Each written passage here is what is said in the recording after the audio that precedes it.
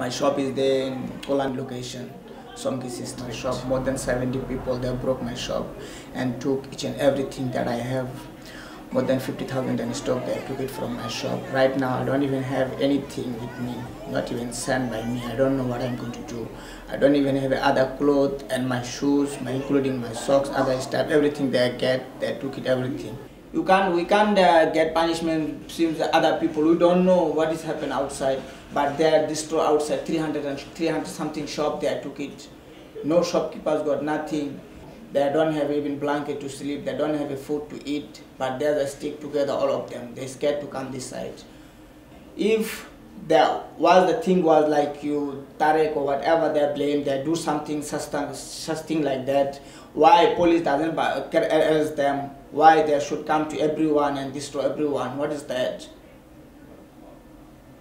They should them making worse crimes, isn't it?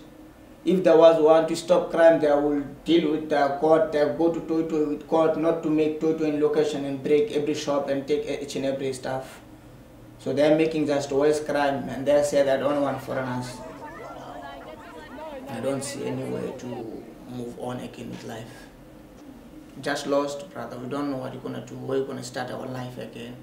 We don't have anything at the moment right now.